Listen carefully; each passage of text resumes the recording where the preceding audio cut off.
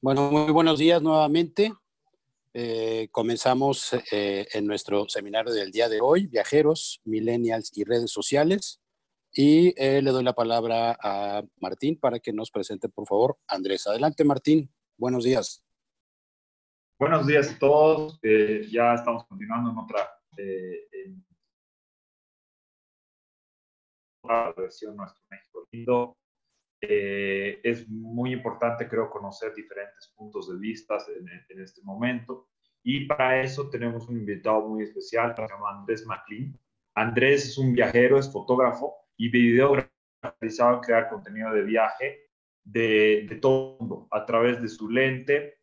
Su trabajo varía desde paisajes impresionantes, contenido aéreo, retratos de viajes y eventos culturales de una manera íntima y auténtica que llega a transportar a cualquiera, eh, a cualquiera de los lugares que visita. La verdad, el trabajo de Andrés personalmente eh, eh, me, considero, o sea, no sé, no sé para es fanático, o sea, es muy bueno, me parece un trabajo muy artístico de nivel y, creo que es, realmente capta la de viajar y mucho más.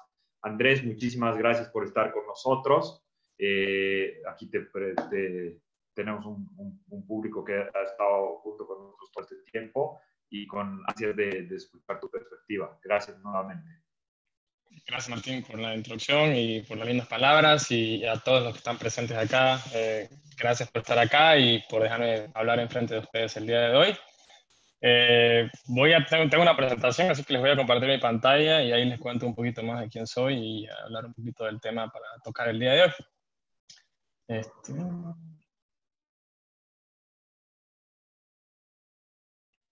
Ahí está. Espero que se vean, me pueden confirmar. Sí, te ve, Andrés. Genial. Eh, bueno, eh, voy a hablar encima de la presentación y espero que me escuchen bien. Eh, como dijo Martín, mi nombre es Andrés McLean, soy, y hoy quiero hablar un poquito sobre los viajeros millennials, que yo soy millennial, así que voy a estar hablando en yo, nosotros, eh, en el comportamiento durante la, presentación y también el efecto de las redes sociales en el comportamiento que tenemos como viajeros eh, y a la hora de consumir el turismo. Eh, bueno, voy a contarles un poquito quién soy yo. primero que nada, mi nombre es Andrés, como les dije, soy fotógrafo, filmmaker, productor en el ámbito creativo, pero también soy viajero, mochilero y en general. Me gusta perseguir el sol, me gusta buscar. Y en total, eh, me, siempre busco tener una experiencia buena en mis viajes, auténtica y, es lo que más o menos busco. Todo este estilo de vida entre viajero y, fotógrafo me ha llevado a crear un proyecto que empezó casi eh, nativamente mientras que yo estaba en la universidad, que se llama The Bolivian Traveler, que no es mi marca personal, digámoslo así, no es un, no es un proyecto que ha crecido más allá de eso, es, es mi nombre eh, más conocido así en las redes sociales, Instagram y así se ha, ha crecido. Eh, y bueno, a través de mi lente, a través de mis experiencias, la Bolivian Traveler me ha permitido eh, por los últimos años mostrar mi país, en sus diferentes paisajes, en sus diferentes tipos de eventos culturales, en su gente, en sus sabores y así. Entonces, para mí es un honor poder explorar mi, mi, país eh, en profundidad y capturarlo a través de mi lente en diferentes producciones, como también a través de todos lados del mundo, desde Asia, Europa, eh, Norteamérica, Oceanía y así. Entonces, esas experiencias que yo tengo las trato, vengo trabajando hace años y años de vivir mi, mi, estilo de viaje que a mí me gusta sin alterar mucho eso y casi que las fotos sean algo secundario eh, en, el contexto de las cosas. Hoy les quería hablar de tres cositas en esta presentación. Uno va a ser los viajeros millennials, como les mencioné, cómo nos comportamos nosotros, cómo somos como generación y, en ese ámbito cómo eh, afecta eh, cómo nos gusta viajar o no, el efecto de las redes sociales en cómo viajamos, el impacto que a tener y bueno, una visión que yo tengo, que yo, la que yo creo que es el turismo, dónde tiene que ir el turismo post-COVID-19, ¿no? Primero hablemos de los millennials. Este, a través de la presentación eh, voy a estar utilizando fotos de, que, he sacado yo, que han sacado otros fotógrafos mientras que yo pasé en México. Eh, yo tuve la voy a empezar diciendo esto porque le tengo mucho cariño a México, me parece uno de los mejores países del mundo para visitar por su riqueza en todo tipo de cosas y he tenido la de vivir un año en México y de viajarla y, de, y de, fotografiarla también, así que voy a estar compartiendo un poquito de eso también con ustedes. Pero bueno, empezamos con los millennials. Algunos datos muy generales sobre nosotros, bueno, mayormente nacidos entre el 80 y el 2000, que nos ponen un rango prácticamente estamos en nuestro en nuestro tope de querer viajar, de querer explorar. Eh, estamos en nuestros años, los, los prime, como dicen. Eh, somos una de las poblaciones más grandes en todo el planeta, eh, ya considerando la generación, los baby boomers y la generación Z, nosotros ya estamos entrando como la, la, la, con más números alrededor del mundo y especialmente ahí con sus vecinos en Estados Unidos, ya es la generación con más población. Eh, somos nativos de la tecnología, nos criamos con el Internet en las manos, eh, ya conectados desde nuestro niñez. Entonces hemos estado acostumbrados a que, el, a que todo esté a nuestros pies, la información, eh, el hecho de poder compartir con otras personas de otros lados del mundo, otras culturas. Y por eso mismo sentimos que el mundo ha estado a nuestros pies, ¿no? porque se lo sentimos mucho más chico de lo que pudo haber sido para generaciones pasadas de las nuestras. Entonces, con eso dicho, eh, tenemos una manera de, ver que el mundo como está más chico, se lo vemos más accesible, entonces nos gusta viajar. Es algo que, que nos gusta crear porque se ha facilitado un montón y también por diversas razones. Como digo, es más accesible que nunca poder viajar por el hecho de que se siente mucho más pequeño el mundo. Y, y en cuestión de económicamente, si los costos de un pasaje eran antes hace 15, 20 años eh, para ir a Asia era algo como una supervisión, un super viaje. Ahora el precio, eh, lo que viene a ser precio, no es tan diferente que ir a ciertas partes de Europa o que viajar a diferentes partes de Estados Unidos y así. Entonces te permite, eh, por la mayor cantidad de demanda y, y de poder viajar a más lugares, más lejos y por más tiempo también. Estadísticamente nos casamos mucho después que otras generaciones. Perdón. Y nada, este, no, ya no, ya no, antes si era salir de la universidad y casarse, ahora es más o menos voy a salir de la universidad, trabajar un poco, viajar un poco, y de ahí recién uno piensa en la familia, eh, más tirándose a los 30, 30 y 32 años. Y eh, no, por la la inflación que ha habido en los años, no, estadísticamente hablando, no somos una, eh, una generación de comprar mucho, sino de, no nos gusta ser dueños de nada porque queremos dejar ir de las cosas más fácilmente. Entonces, solemos alquilar, comprar entre, entre viviendas, carros, eh, experiencias, todo eh, es una manera, un comportamiento económico de nuestra generación que es muy, muy común en ver, y por eso mismo en marketing y en, economía y todo se lo ve muy, muy, muy seguido. Y también nos, gasta, nos gusta gastar dinero que no tenemos, porque es muy accesible. Estamos a dos clics de sacar una tarjeta de crédito, estamos a dos clics de comprar un pasaje, estamos a dos, clics de comprar un auto, en, un, corre, un carro, perdón, en, en algunas situaciones. Entonces, estamos muy accesibles a ya no hay que salir de nuestras casas para comprar cosas y, estamos literalmente, hay una facilidad de hacer todo. Todo esto también se ha conectado por la globalización, entonces todo, ya, ya pedir algo desde China o pedir algo desde, eh, yo si quiero pedir un, este, una artesanía huichol de México, digamos a Bolivia, ya no lo veo muy imposible, porque es como que puede llegar hasta acá. Entonces, yo estando en Bolivia, sé que puedo hacer eso y va a tardar su, tiempo y dependiendo, y si, quiero, si quiero que se llegue más rápido, va, a llegar más rápido, pero tiene un costo más elevado. La última razón por la que yo creo que nos gusta viajar mucho es porque tenemos, hemos crecido con las redes sociales y una conexión con, las otros, otras personas y otras comunidades eh, entre Instagram, Facebook, Twitter, YouTube, donde tenemos acceso a información, y acceso a, a, contenido constantemente, un tráfico de imágenes, de palabras, de videos, todo, que nos llena la mente, la subconsciencia de, de lugares que, no, que los que empezamos soñando, empezamos eh, pensando y, de ahí como que si de verdad lo, lo, queremos, lo vamos a ir a buscar y, vamos a conseguir una manera de esos lugares de visitar y de quitarnos esas ganas, ¿no? Podría hablar de muchas redes sociales, pero yo me quiero enfocar hoy en Instagram. Eh, Instagram es donde la plataforma donde yo he concentrado mucho en mi trabajo desde los últimos siete años, más o menos. Eh, ha crecido muchísimo y es una plataforma que me gusta mucho porque a diferencia de Facebook, que empezó siendo algo más de amistades y de ahí se volvió algo mucho más de negocio. E Instagram siempre ha sido a base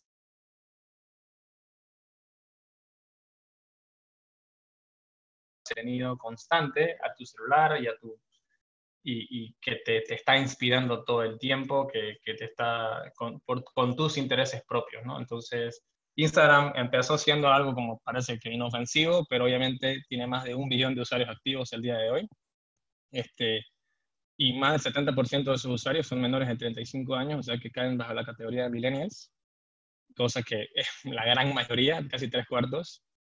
Y lo interesante de Instagram, más allá de los usuarios y todo, es que la cantidad de gente que lo utiliza a diario. Eh, Instagram tiene, no sé si saben, pero tiene la faceta de, compartir stories, que son eh, contenido que uno puede compartir desde su perfil, que dura por 24 horas. Entonces te permite mostrar yo en este momento me estoy tomando un café, le tomo una, le tomo una foto de la taza de café y pongo mi café del día y eso dura 24 horas.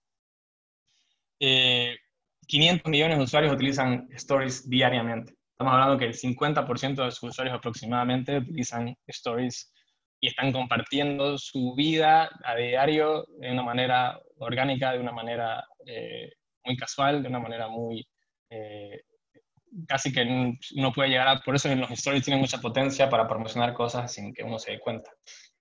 Este, como les dije, Instagram es algo, una herramienta de inspiración diaria. Así lo veo yo, así lo, lo he visto por muchos años y así es como yo lo, lo, lo utilizo a la hora de ser un creador. Eh, todo el tiempo hay un flujo de cosas con las que yo quiero inspirar y también quiero que me inspiren. Entonces, eh, para mí es muy importante que llegue ese flujo de, de, información, porque a la hora de, no solamente de inspirarme, sino de crear comunidad y yo sentirme relacionado con ciertos destinos, con ciertas, eh, cada vez como que yo tengo, por ejemplo, me gustan muchísimo los cenotes, me encanta ir a cenotear en la Riviera Maya. Sigo muchas cuentas de amigos que también, de personas que les gusta hacer lo mismo, entonces yo constantemente, cuando ellos eh, van a un cenote que yo no conozco, les pregunto o lo, guardo o, y ya después lo trato de buscar dónde es para yo poder ir a experimentar por mi cuenta. Eh, las facetas de inspiración yo creo que vienen en las cuentas que te van a inspirar, que vienen a ser cuentas más o menos de negocios. Eh, en este caso pongo tres ejemplos acá. Beautiful Destinations y Passion Passport, que son de las más grandes que hay. Eh, Beautiful Destinations se eh, concentra mucho más en video, está un estilo muy cinemático. Y Passion Passport es mucho más en la estética fotográfica y en las historias detrás y en los sentimientos detrás de un viajero a la hora de, capturar un cierto momento. Y son comunidades de millones y millones de viajeros que están conectados bajo el mismo interés. Entonces, si ya tenemos una comunidad de un millón de personas, de usuarios activos, ahora estamos bajándolo a, lo, a una fracción pero una facción de personas que está interesada en, en, algo que uno está vendiendo, que en este caso uno, que, uno, o de algo que está, de experiencias parecidas que uno quiere vivir, que son en este caso de viajes. En, en la derecha pongo el ejemplo, eh, digamos, Passion Passport y Beautiful Destinations se concentran en global, ¿no? O sea, son, muestran contenido de todo el mundo. Y aquí a la derecha en, la, está eh, una agencia de, de viajes, eh, se llama Visit South America, que yo sé incluso eh, lo hacen más pequeño y lo, y lo, enfocan todo en la región de Sudamérica. Entonces ellos, eh, a diferencia de Passion Passport y Beautiful Destination, son una agencia de viajes que han hecho un muy buen trabajo a la hora de utilizar contenido que ellos crean, pero también que gente en general de las redes sociales crea. Eh, con su permiso lo, pueden repostear, lo pueden reutilizar, dando créditos y, y, sin alterar las imágenes, y permite poder mostrar los destinos que ellos están promoción que ellos venden sin de una, y también mostrar de otras personas, pero también mostrar las experiencias que tienen sus propios clientes cuando están en los viajes con ellos. Entonces, ellos también han creado una comunidad de viajeros que igual les gusta el viaje, pero también están enfocados en un viaje en Sudamérica, en una región del mundo. Entonces, a la hora de crear esa comunidad ya tenés una confianza de saber qué tipo de experiencia más o menos te va a tocar si es que va a hacer el tour de ir a Machu Picchu en Perú con ellos, por ejemplo. Entonces, ¿por qué? Porque hay 100 empresas que te ofrecen el tour a Machu Picchu, pero más o menos a la hora de, ser parte de su comunidad ya confías en ellos de que te van a dar una experiencia eh, buena, eh, te van, a, van a, llevarte a buena hora, van a llevarte, te van a dar buena información y vas a terminar con muy lindas fotos y una linda experiencia sobre todo. La otra parte de, de, la gente que inspira son los influencers. Obviamente, eh, la definición de esto es muy amplio y los podemos amar o los podemos odiar, pero eh, los influencers tienen impacto. Eh, son las celebridades modernas del Internet hoy que, que sin ir más allá de ser atletas, super atletas, un super talento o, o músicos, rockstars de, que, que, están generando algo muy casi inalcanzable para algunas personas.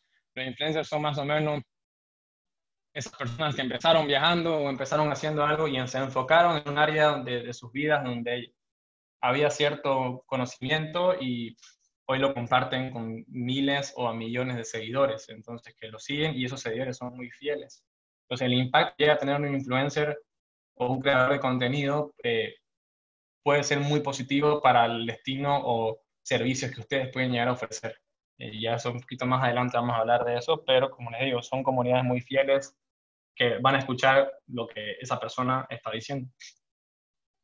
Eh, ¿Por qué lo vemos más alcanzable ahora? De, si antes veía una, como tenía un futbolista en una vacación en Grecia o en una playa, uno puede, no dice, ah, porque es millonario, pero como te digo, el, tema de los influencers, nos gusta vivir a través de sus vidas un poco, porque lo podemos ver en tiempo real y lo vemos un poco más alcanzable. Lo vemos un poco más alcanzable para nosotros y, y, y, nos inspira mucho más a la hora de querer adquirir esos viajes, de poder esos destinos y, y, aplica un poco así.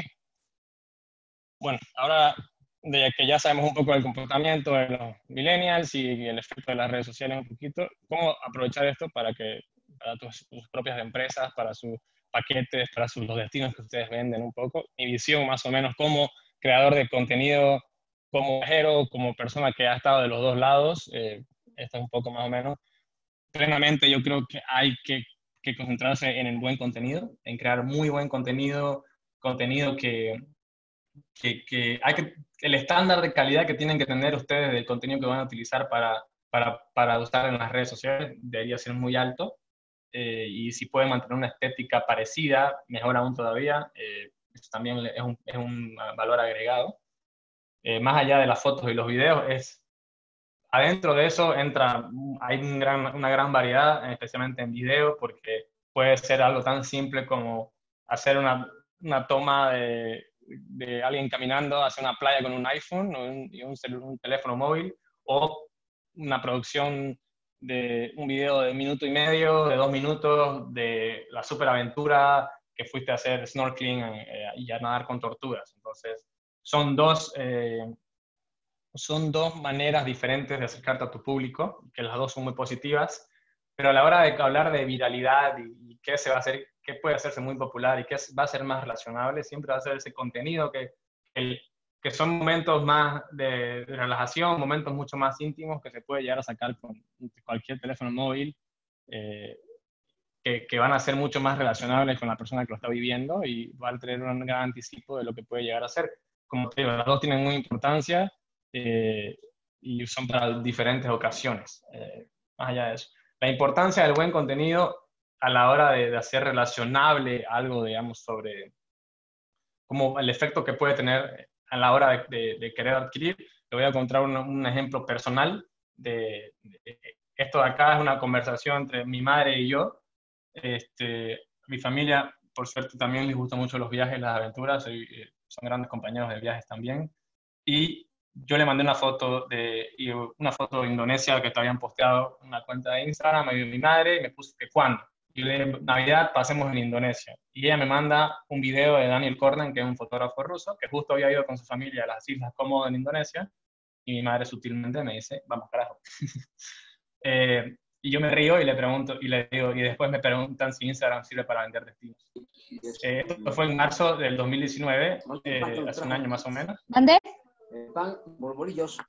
Ah, no, no trajeron. Y a alguien se le activó el audio, perdón ahí. Eh, eh, bueno, eh, y pasen un par de meses después, en época navideña, y aquí estoy yo con mi familia en, en Bali, Indonesia. Entonces, obviamente hubo mucha planificación, mucho esfuerzo de todo para llegar ahí y, y por suerte pudimos estar juntos ahí y ha sido uno de los mejores viajes que hemos hecho en familia. Me siento muy agradecido, pero es un ejemplo perfecto de, o sea, un, dos, un posteo, ella recibió otro y, y comenzamos a, a, planificar y a soñar y a trabajar para eso y ahí estuvimos. ¿no? Eh, la segunda cosa es mostrar las experiencias que venden de una manera auténtica. Eh, yo siento que cada uno de ustedes como agencia, como el, personas que están trabajando en el turismo, eh, tienen que enfocarse en qué tienen ustedes que no tiene otra, otra, otra, otra persona, otro servicio. Entonces, puede ser algo muy mínimo como algo muy grande. Obviamente, a eso, eh, desde el servicio que ofrecen, en la manera en que están atendiendo, qué comida sirven, aquí, dónde lo están llevando, en qué los están llevando. Entonces, eso puede variar mucho, pero en el ámbito de las redes eh, es importante enfocarse en eso a la hora de mostrar las experiencias que ustedes pueden vender de una manera muy auténtica desde las personas que ya están haciendo el servicio con ustedes y cómo están compartiendo esas personas sus experiencias.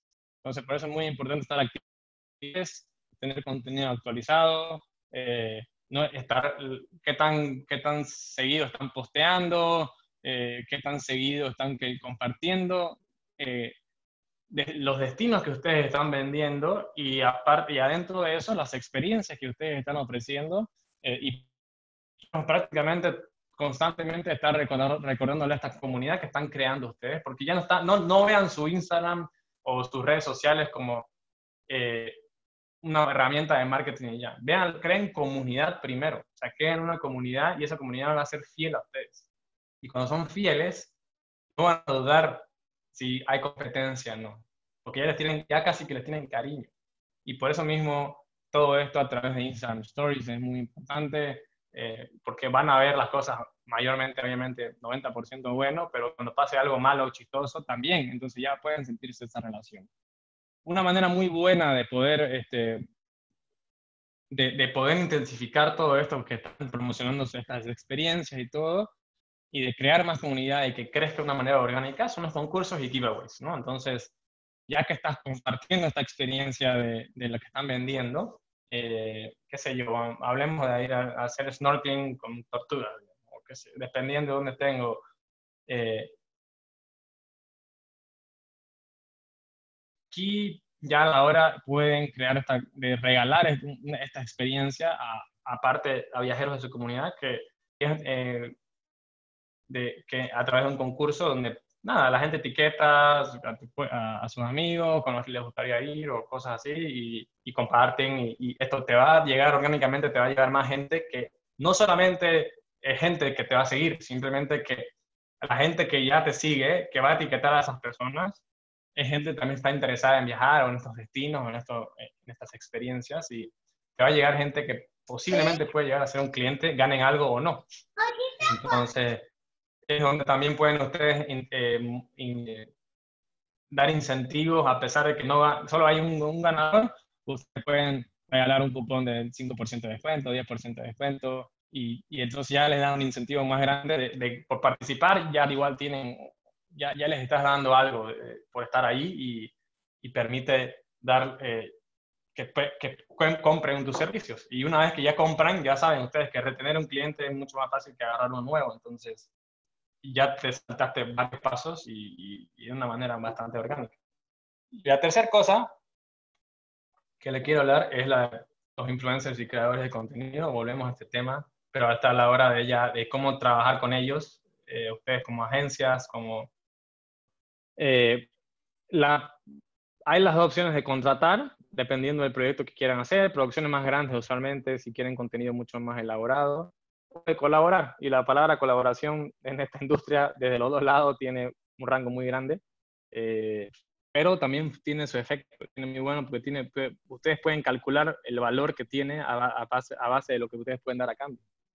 Y yo que eh, me han contratado y he colaborado mucho, eh, significa que yo, yo cuando yo veo, yo como creador, cuando alguien me dice colaboremos, yo miro, ok, ¿cuánto es lo que, yo sé lo que, lo que estoy vendiendo, si te voy a dar un video de un minuto y te voy a dar 10 fotos, yo sé cuánto vale eso en el mercado. Entonces yo ya veo más o menos cuánto es que me estás dando a cambio y también se trata de, y ustedes como agencia pueden calcular, ok, este, cuántos seguidores tiene, de dónde son, eh, qué, qué, tipo de contenido necesito en ese momento, si son fotos, si son videos, si son posteos, si son nada más que vivas la experiencia de esa menor, mejor manera posible, de una manera auténtica a través de stories.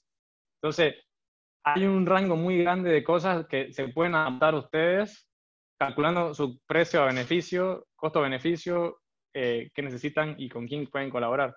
Y por eso mismo lo que es bonito de todo esto es que adentro de toda esta comunidad de influencers y creadores de contenido que, que son personas que, que, están, son considerados, entre comillas, expertos en lo que están haciendo, eh, tienen una audiencia que, los, que están interesados en esa misma cosa. Entonces, ustedes no tienen que apuntar necesariamente siempre a, a, la, a la, persona, sino a, su audiencia y, y, qué tan fiel son su audiencia y porque el que al fin y al cabo ustedes quieren vender es a su audiencia, a esa persona, no al, al, influencer o al, creador de contenido. El creador de contenido es el, canalizador del mensaje, de tu, la experiencia que ustedes están vendiendo y creo que tiene, es muy importante. Entonces, dentro de ese rango, hablemos de un influencer de viajes, por ejemplo.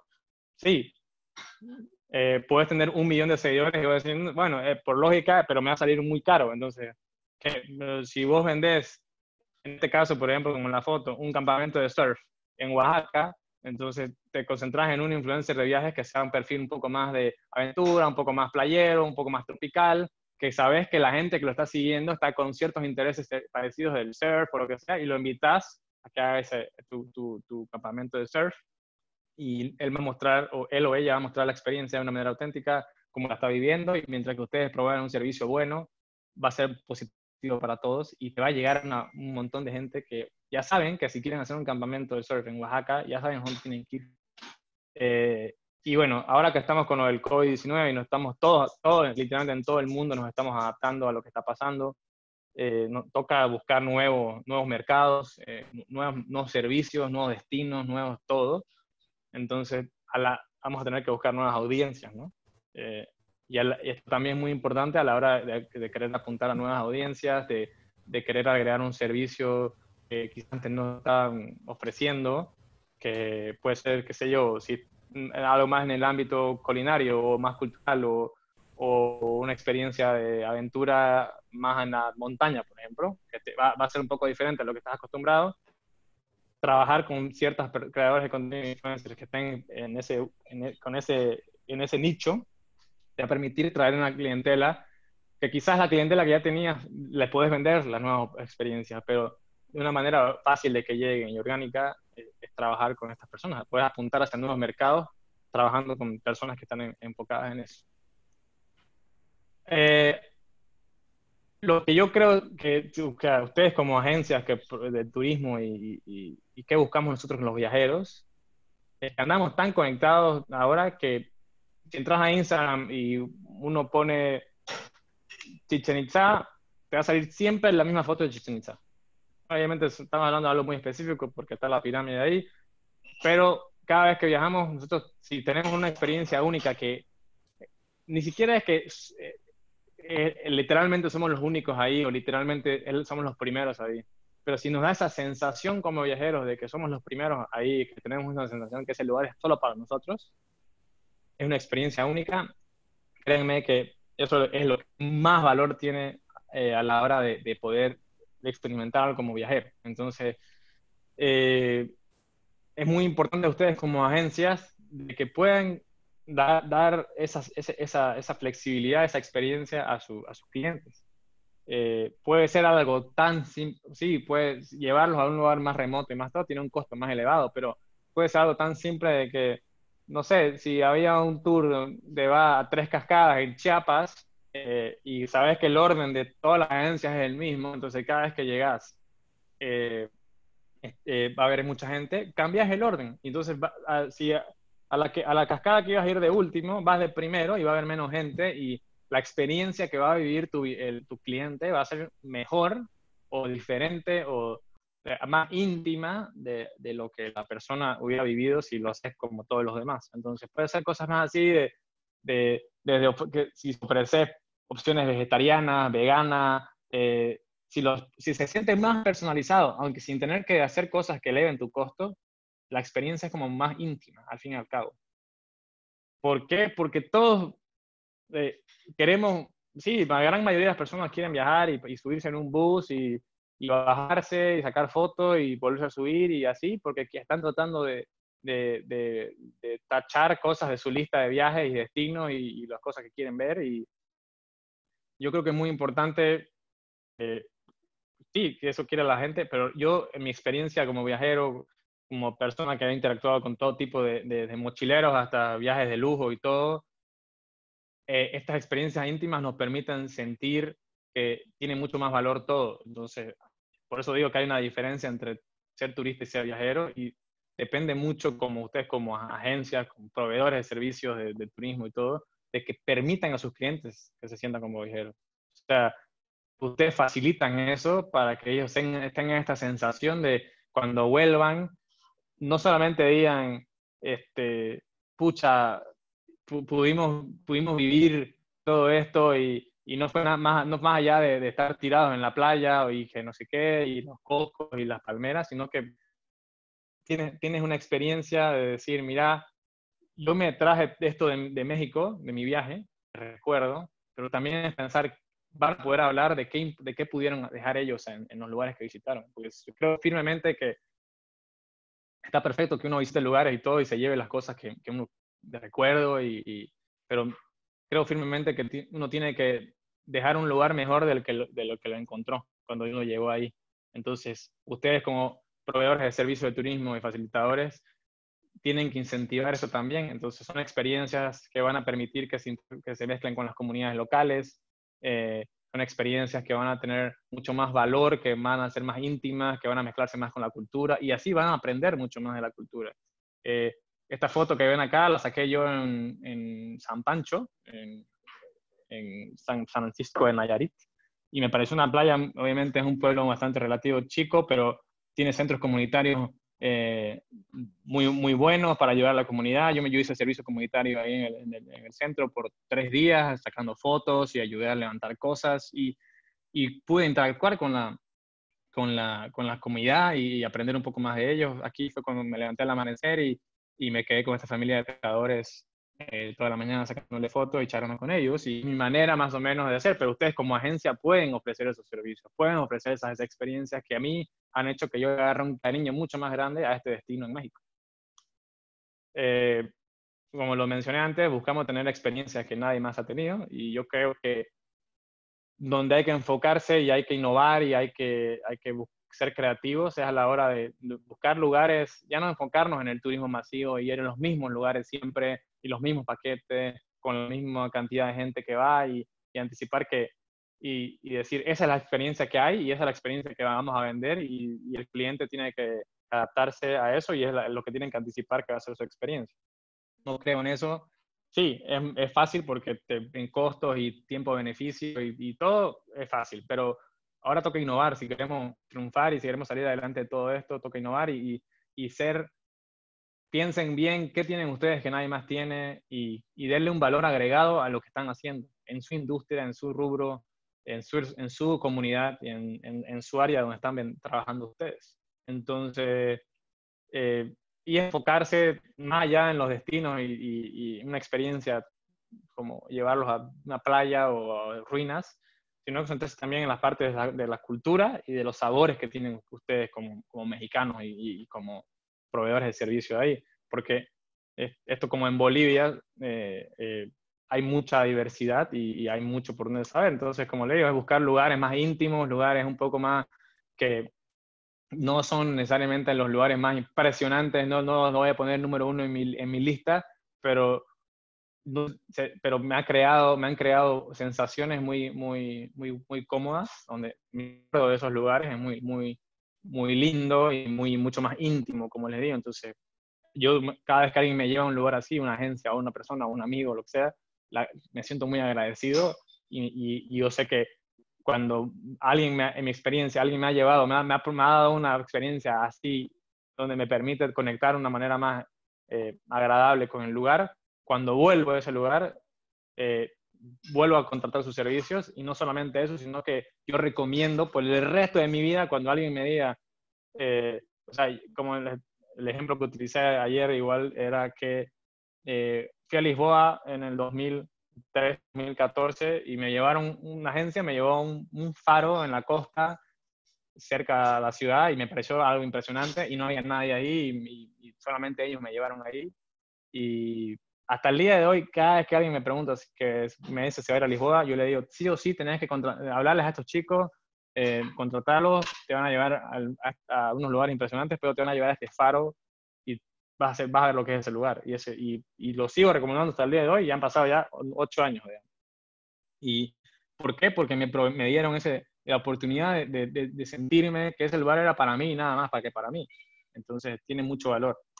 Lo otro son los sabores eh, yo hablo, cuando pienso en México, de verdad lo voy a decir con sinceridad, eh, México me parece un destino muy rico en todos los sentidos. Eh, y ustedes tienen una, o sea, son diversos en todos tipos. me, me, fascina eso y más allá de los lugares que son muy hermosos, tienen una cultura y, y una, y, la cantidad de, de, de en el, o sea, en el factor gastronómico como en lo cultural de, tradiciones y todo. Entonces, en los sabores es concentrarse en lo que tienen ustedes, que, que, bueno, la comida mexicana, a diferencia de la boliviana, es mucho más conocida alrededor del mundo y, y, y, sí, la gente tiene una expectativa, pero es diferente comer un, o sea, tacos en México, hechos en México ahí, que, que, que comerlos en, en, otro lado del mundo, a pesar de que sí hay restaurantes mexicanos. Eh, enfocarse también en sus propios productos, ¿no? O sea, es tan simple como tequila, sus chiles, su maíz, y ustedes tienen mucho orgullo en eso, y, y yo me acuerdo que, o sea, ir a un mercado y, y, y, viví, hacer un tour de solamente probar chiles, digamos, y probar chiles todo el día, y me pareció algo genial, y ahora yo ya sé qué chile pedir, me gusta mi chile de árbol, digamos, ¿no? me gusta, me pido, y, ahí me si no hay, me pido un habanero, y así. Eh, entonces, es hacer que su foco del turismo se haga cada vez más pequeño y que la lupa apunte a algo mucho más, un círculo más pequeño para, para crear una experiencia más, más, específica, ¿no? La otra parte son la cultura, ¿no? Ustedes como mexicanos, un país muy diverso, desde el norte hasta el sur, eh, obviamente daría un montón y, y, es enfocarse en esas tradiciones y festivales que, por ejemplo, se ha popularizado mucho en México, especialmente desde la película de James Bond, El Día de los Muertos, por ejemplo, que, ah, eh, que a lo que tengo entendido, que me, han, me comentaron mientras que vivía allá, que antes no era tan grande, pero bueno, se ha popularizado y ahora hay gente que va a México eh, para esa, vivir eso, digamos, es como el carnaval aquí en Bolivia, hay gente que viene de todo el mundo para vivir el carnaval. Entonces, es enfocarse un poco más en, en, en pequeñas tradiciones, en festivales un poco más pequeños, eh, la comunidad indígena en México es gigante, eh, en gran parte de lo que influye no solamente en, en, los destinos, sino también en, son un complemento gigante a todo lo que viene a ser una experiencia de, de, del destino en general. ¿no? algo que yo creo que hace muy bien en México, un poco mejor que en Bolivia, que es el ecoturismo, que yo creo que a pesar de tener un valor más grande y un costo más grande, lo vale. Eh, siento que la gente, que el público que le interesa eso, sí lo paga y, y sí hace un efecto bueno, especialmente en las comunidades locales, como en el medio ambiente. Y, de una manera, yo creo, va a, tener, va a ser muy fuerte enfocarse en eso. Y bueno, concentrarse en su diversidad. Este, eh, lo hace Andrés, perdón, Andrés, perdón la interrupción. Eh, pero podrías pegarte un poquito más a tu micro. Estamos dejando de oírte de pronto te oímos lejos y te volvimos a oír. O sea, está muy intermitente la, el, eh, tu voz. ¿Me, ¿Me, escuchas ahora? ¿Ahora me escucha mejor o no? Eh, sí, mucho mejor. Sí, que estuviera estático y que tú estuvieras cerca de él. Gracias. Perfecto, no, gracias. Este, Bueno, repetía que el ecoturismo yo creo que es muy importante. Eh, si lo ven, yo, personalmente lo he contratado mucho en la Riviera Maya y en Oaxaca. Eh, así que sé que hay muy buenas personas haciendo muy buenas cosas por allá y, vale la pena enfocarse en ciertos aspectos de comunidades para, para poder vender esos servicios, ¿no? Y como les decía, enfocarse en su diversidad. O sea, tienen si algo tienen los mexicanos es un orgullo de su cultura y, de todo, y, por eso mismo, cuando a mí lo que yo, mm, ¿por qué me gusta México más allá de sus paisajes y su cultura y sus sabores? Es la gente también, y, que la gente tiene un orgullo por su cultura y por todo lo que tienen como mexicanos, pero más allá de eso tienen un interés genuino por las personas que están visitando. A mí no importa si yo estaba yendo a una reunión de negocios o ah, estaba en el Uber o, o, estaba con un guía de turista, de turismo, me preguntaban, me hacían las preguntas constantes, era de que cuánto tiempo llevaba en México, que qué era lo que más me gustaba, que si había probado esto, que si había visitado este lugar, mi hermana pasaba muchas recomendaciones. Y después tenía un interés genuino de saber sobre Bolivia. Me preguntaban, ¿qué tal es Bolivia? qué, hay allá para comer, qué hay allá para mirar. Y entonces eso para mí tenía mucho valor. Y eso es algo que yo creo que tienen que enfocarse, que, que cuando, cuando toda esta comunidad de personas está siendo genuinamente interesada en, en, vos como, como visitante, te da una sensación más, más de, así de, de poder dejar ir de, de, la atención y de disfrutar. Entonces yo siento que la diversidad, en la diversidad está donde podemos encontrar nuestro mayor, mayor éxito. Entonces, aquí ustedes obviamente en sus paisajes diversos, que México lo tiene todo literalmente y me encanta, este, me encanta, me encanta.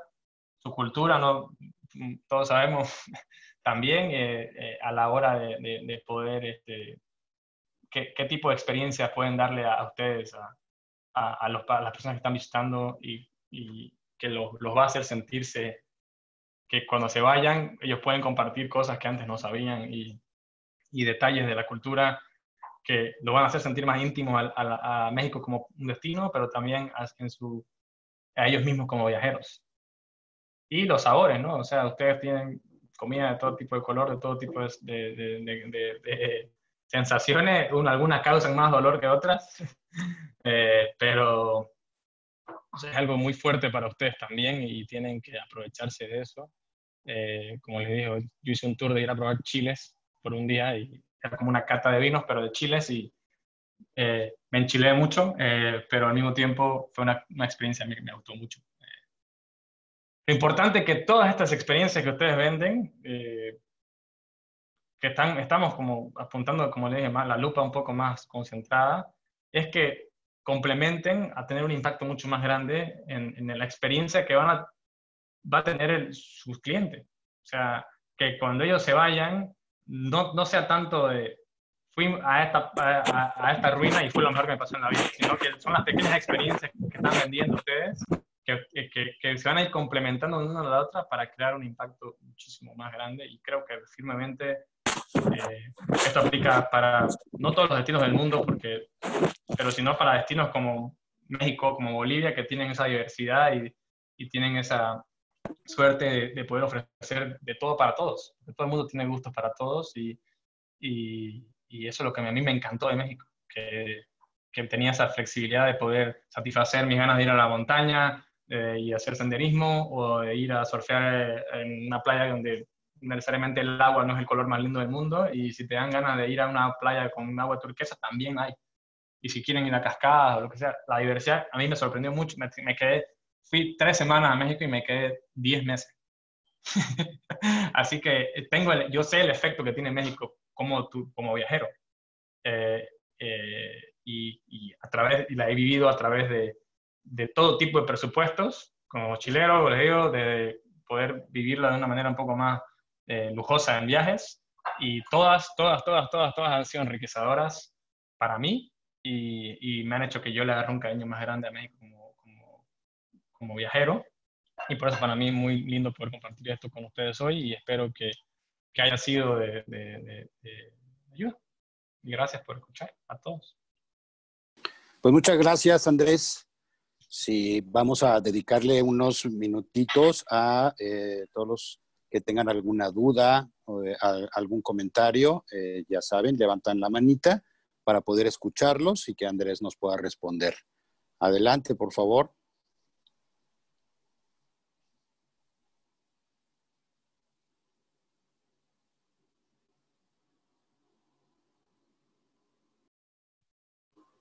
Nadie tiene preguntas, alguna por ahí. Creo que estaban eh, preguntando el nombre de la agencia de viajes que dijiste en un inicio, Andrés.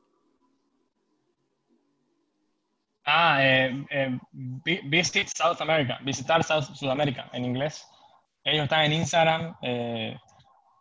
hay, es como muy parecido al concepto que, a ver, estoy pensando en México, por ejemplo, que yo me acuerde, no, en México desconocido, yo me acuerdo que lo seguía a ellos cuando estaba en México, porque ellos posteaban cosas muy, destinos muy lindos. Y ellos venden paquetes. Y nunca les compré uno personalmente a ellos, pero yo me acuerdo que lo, lo seguía en Instagram y cada vez que marcaba, marcaba un lugar, eh, me, me, parecía interesante, pero no, no contraté sus servicios porque no terminé yendo eh, bajo e, esa, esa, situación de contratar sus servicios. Simplemente terminé yendo por trabajo o terminé yendo por, por, por por algo más de producción de, fotografía o video. Ok. Eh, Aileen tiene por ahí una pregunta. Aileen, ¿podrías encender tu micro, por favor, para escucharte? Sí, hola. Buenos días. Mm, ante todo, pues, mucha felicidad. Me pareció increíble que nos compartieras, pues, todas tus experiencias desde nuestro punto de vista. Es decir, no como, no como viajeros, sino de cómo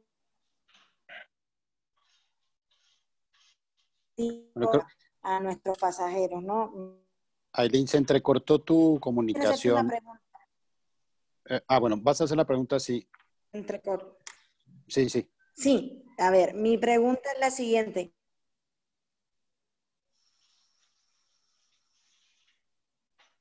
¿Con cuál podemos arrancar? Aileen, se, cortó, si me la puedes sí, se cortó. Si quieres, si quieres escribirla y bueno, tratamos de, leerla, Aline.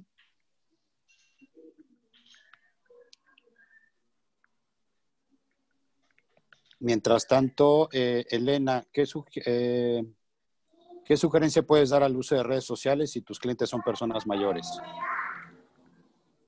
A ver, eh, perdón un ratito, la de las personas mayores, la perdí la pregunta.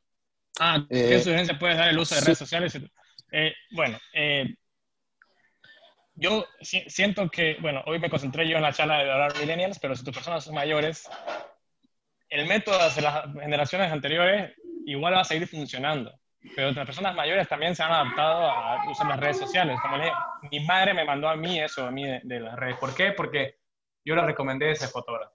Entonces, eh, es que si ustedes están compartiendo cosas de, si quieren incentivar a viajes familiares o si quieren incentivar a, experiencias un poco más íntimas, es la manera del contenido que se utiliza también, ¿no? O sea que ya no vas a estar diciendo, vas a salir de fiesta en Cancún, digamos, sino que vas a estar diciendo que vas a tener un, eh, una, capaz una habitación al lado de la playa más, más íntima, más, una experiencia más tranquila, pero a la hora yo creo de, de enfocarse en la gente mayor. Facebook sigue siendo una red social donde mayormente las generaciones anteriores se han quedado ahí. Están migrando hacia Instagram, pero eh, mayormente ahí hay más masivo, es mucho más masivo para la hora de, de las generaciones anteriores. Entonces yo me concentraría un poco en lo que viene a ser contenido en Facebook. Que sea fácil de compartir y, y eso. Ok. ¿Cuál es la diferencia entre viajero y turista, Andrés? Eh, para mí, eso cuando, por ejemplo, yo que vivo viajando, eh, me dicen, todo el mundo cree que soy millonario y que, y que tengo, o sea, yo trabajo duro como todos estamos aquí trabajamos y, simplemente yo enfoco por el, por el, estilo de vida que me gusta tener y, la situación de mi vida, me gusta enfocar mi dinero en eso. Eh, pero la gente está acostumbrada a irse de vacaciones.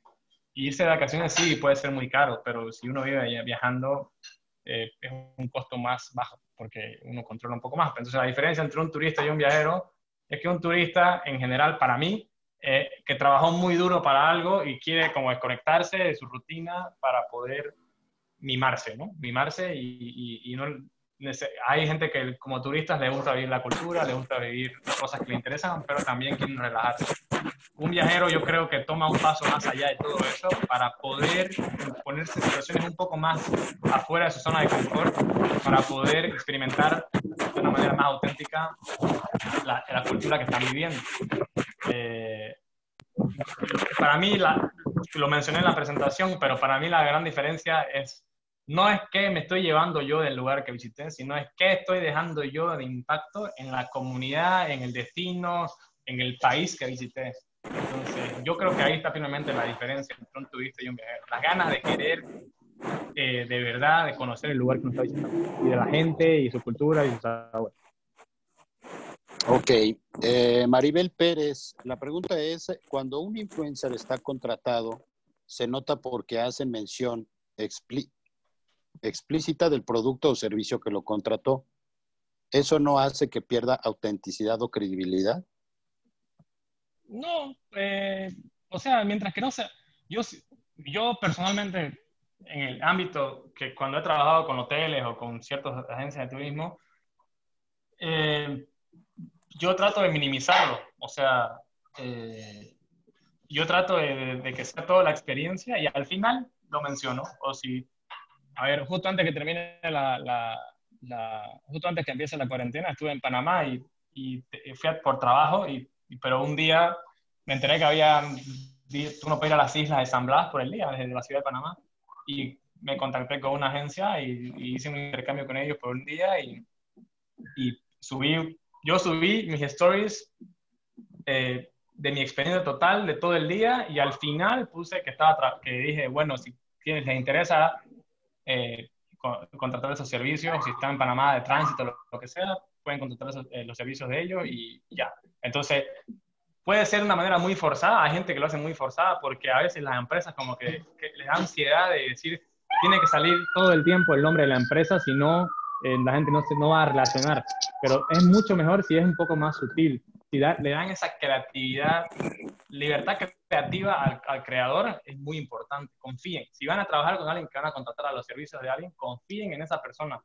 Confíen en su talento, confíen en su creatividad y confíen que les están contratados no por sus números necesariamente, sino por la manera en que hacen su trabajo y la manera en que ustedes van a poder ver cómo ellos trabajan con otras marcas también. Entonces, eh, no, no pierdo autenticidad porque porque es una, si ustedes le ofrecen una experiencia auténtica, ellos no tienen por qué mentir. Y si van a pasar cosas malas, bueno, en turismo sabemos que nunca nada sale como lo planeado, pero es la manera en cómo nos adaptamos. Ok. Yasmín Delgado, según tu punto de vista, eh, ¿cuál es la mejor plataforma para llegar a los millennials? Instagram. Instagram y YouTube.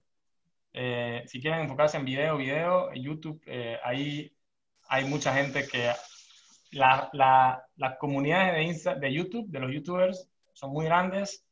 Ustedes como mexicanos tienen los casos más, Luisito Comunica, o sea, los, los videos de Luisito Comunica, obviamente estamos hablando de los YouTubers más grandes del mundo. Yo como que me enfoco en hacer una toma por una hora, los videos de Luisito Comunica, él hace esto con su celular y graba y ya está, pero es, como, es él lo que está vendiendo. Eh, son muy fieles son muy fieles y, yo he trabajado con varios youtubers que han venido a Bolivia a hacer videos y hacen su video de Bolivia y de ahí la agencia con la que trabajaron les llega el negocio.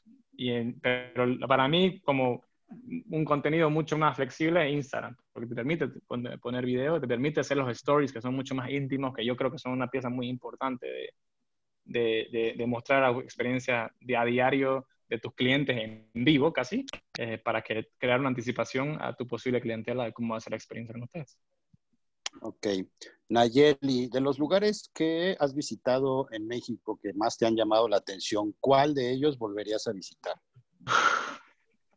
Eh, esa pregunta, eh, si estuve 10 meses y, siento que estuve una semana, o sea, siento, vi mucho, pero vi que siento que un lugar que me sorprendió mucho, de verdad, fue Chiapas y Oaxaca. Eh, Chiapas me pareció impresionante. O sea, vi lugares ahí que dije, esto de verdad es México, así que me, me, lo dije todos los días mientras que estuve ahí por 10 días. O sea que, pero un lugar donde me gusta mucho ir y, relajarme es en Oaxaca y hoy, como les dije en la presentación, los cenotes son un lugar muy cerca de mi corazón y si puedo ir y meterme adentro de uno, eh, yo voy a ser feliz. Así que siempre soy feliz en la Riviera Maya y, y estuve el año, la última vez que fui a México fue hace un año, justo hace un año y, y estuve en, dos semanas, eh, cenoteando todos los días. Este, Andrés, ¿nos puedes repetir, por favor, eh, tu Instagram? Sí, mi, mi Instagram es eh, eh, The Bolivian Traveler, o sea, el viajero boliviano, en inglés. Eh, voy, a, voy a poner aquí el, el, el, A ver, les voy a compartir mi pantalla un ratito y les puedo mostrar para que vean. Eh, Dame un minutito. Pueden ver mi pantalla. Este es mi Instagram. Aquí está. Bolivian Traveler. Ahí van a poder ver un poco más mi trabajo, que, que pongo casi todo el tiempo y bueno, este, sí. Ahí va, la- los, los- los stories en, en cuarentena han estado un poco más diferentes, pero yo ando mostrando contenido de otros viajes, eh, de ex- experiencias que he tenido, así que los invito a que si quieren ser parte de, de- de- de ver mi contenido, yo feliz de tenerlos y de poder compartir con ustedes. Ok, Este, regresamos con Aileen. Eh, ¿Cuál sería el destino de México que tú consideras? ¿Cuál es el que pudiéramos empezar a vender, a promocionar? Yo, o sea, yo siento que, que eh, bueno, es que son muchos, o sea, realmente es una pregunta muy difícil, pero le voy a dar una, manera de, sin tener que ir a descubrir, ir con un machete a, abrir camino en la jungla y descubrir un nuevo lugar.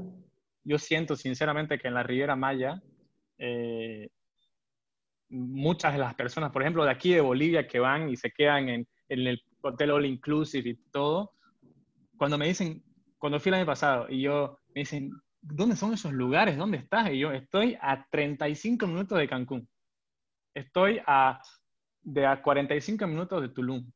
Mis amigos me dicen, ¿pero cómo? O sea, ¿por qué yo nunca me he enterado de esas cosas? O sea, que adentro de ese público que ya es un turismo masivo, que va a ir y va a... yo creo que hay un margen eh, de, de ofrecer esas experiencias. Hay mucha cultura, la cultura maya eh, adentro ahí es muy grande. Eh, hay mucha naturaleza que está sin tocar y, y, y yo creo que eso es un destino donde, sin- que ya es muy popular y ya es yo me imagino que es el más popular de México, pero también son los alrededores de las ciudades, ¿no? O sea, ahí va, a las ciudades les va a llegar eh, gente. Entonces, por ejemplo, yo siempre sabía de Guadalajara, digamos, ¿no? Que en Guadalajara, este, y fui, pero no sabía, por ejemplo, que hay como tres pueblos, mágicos alrededor. Entonces terminé lleno de tequila y para mí tequila ha sido eh, uno de mis pueblos eh, mágicos favoritos y, es como que al ir al tequila es un turismo para mí en el área gastronómico, ¿no? Entonces yo me, eh, me, termino enterando mucho más del tequila, de la producción, del, del agave el producto y, el- y, la- y los productores y todo. Y me voy de ese día yéndome, me, me, me voy de, de tequila, me voy de Guadalajara y me voy de México con un conocimiento de su cultura que antes no tenía y que ahora yo estoy, yo puedo compartir. Entonces ahora cuando yo me tomo un tequila con un amigo, yo puedo hablarle sobre, mira, sabías que lo hacen así, lo hacen así. Entonces tiene mucho más valor porque yo ya estoy hablando de su destino, de su cultura y yo estoy promocionando.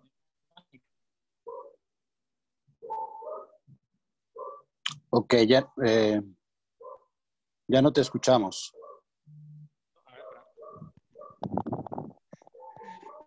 Ahora, Sí, un poco mejor.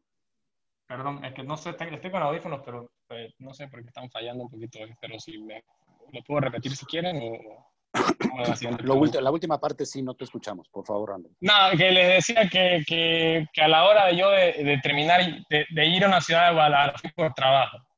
Eh, que sí, Guadalajara me pareció muy lindo, muy linda la gente, muy, linda la comida, muy rica la comida, todo. Pero después como que ya me quedé una semana más pues, y quería explorar. Entonces me, yo no sabía que había tantos pueblos mágicos alrededor y terminé yendo a Tequila y en Tequila terminé aprendiendo mucho más de lo que es la parte de, de su producto que es el agave y que, crea el tequila. Hay un producto que representa mucho a su pueblo, como mexicanos, que es de ustedes y nada más, tiene de- denominación de origen.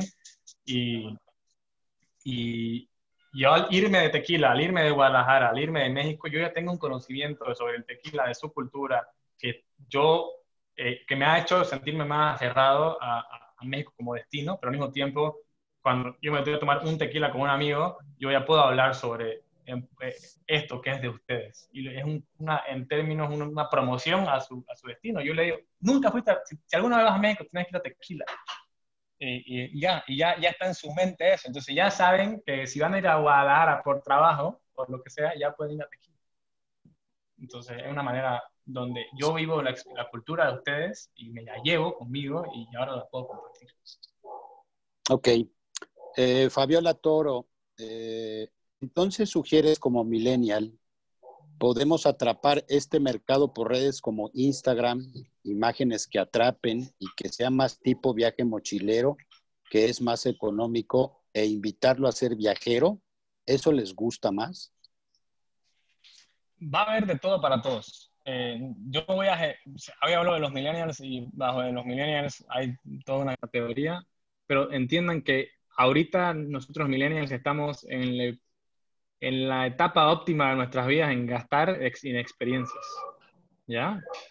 Eh, especialmente con... Eh, estamos ya generando dinero, ingresos buenos en general, digamos, y yo siento que las experiencias, no importa si estás mochilero o si estás yendo en, en un rango más alto de, económico, las experiencias íntimas, las experiencias más o menos de viajero, se las pueden ofrecer a todos. No, uno no tiene que ir y, literalmente este, ir para poder ir a vivir algo más local, tener que irse en transporte público y, así. Si uno quiere eso, bien, pero si uno hay personas que les gusta estar más cómodo, también les pueden ofrecer esa misma experiencia de viajero de una manera más cómoda.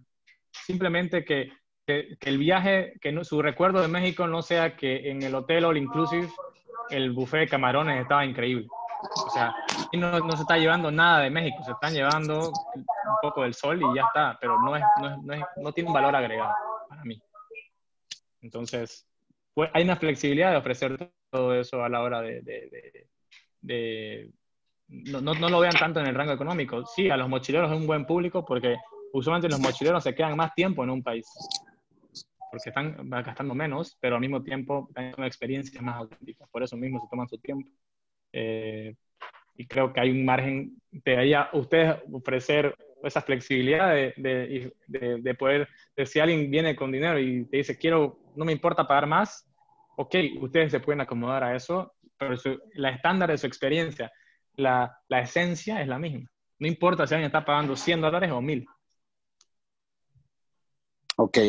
Eh, hay un par de preguntas relacionadas con lo siguiente. ¿Cuánto se paga a un influencer o qué formas hay de trabajar con ustedes? Mira, eh, eso es muy, muy amplio a la hora de, todo depende del, mucho mucha gente mira el número de followers, ¿no? O sea, cuántos seguidores tiene una persona, cuántos suscriptores tiene en YouTube.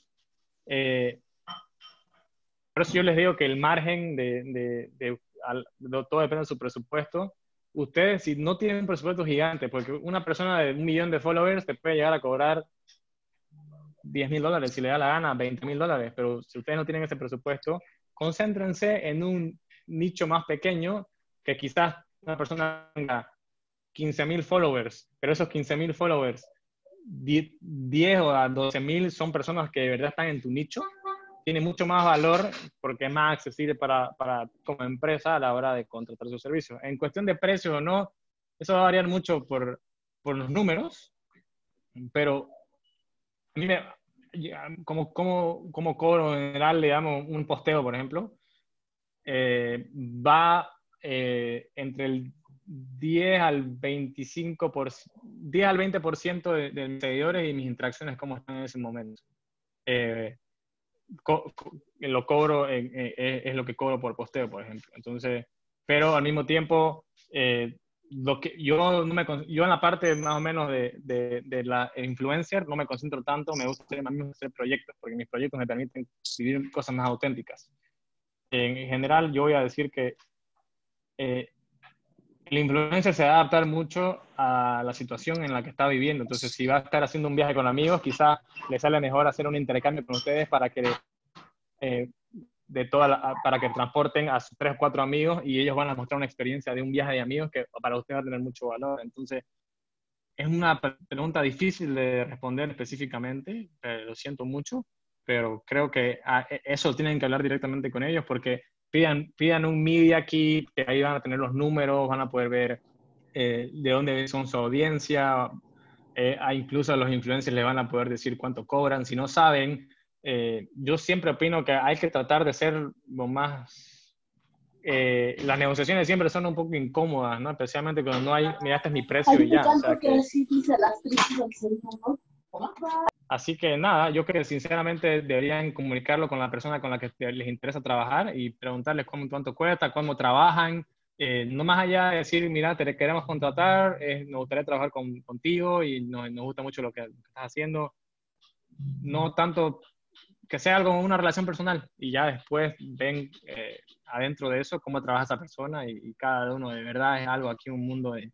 Yo no conozco una persona que cobre, cobre o sea, el mismo concepto de, cobrar entre otros amigos que trabajan en la industria. Muy bien, pues muchas gracias Andrés. Estamos ya en tiempo. Hay algunos más, pero están, están, quedan grabadas. Eh, voy a pedir que te las compartan para que puedas este, eh, responderlas. Buenísimo, Mauricio. Muchísimas gracias a todos por sus preguntas, por, por escuchar. Muchas gracias, Andrés. Un gusto estar acá y, nada, fuerza para todos y un abrazo. Muchas gracias. Muchas gracias a todos. Nos vemos y nos leemos mañana. Buen día.